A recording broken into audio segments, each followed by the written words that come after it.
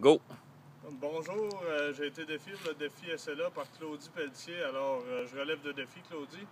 C'est bien important de faire un don. Tout de suite, après m'être essuyé, c'est ça que je vais aller faire.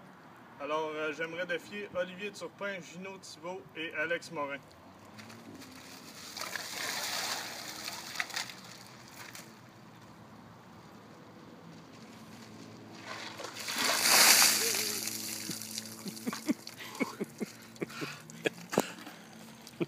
so that's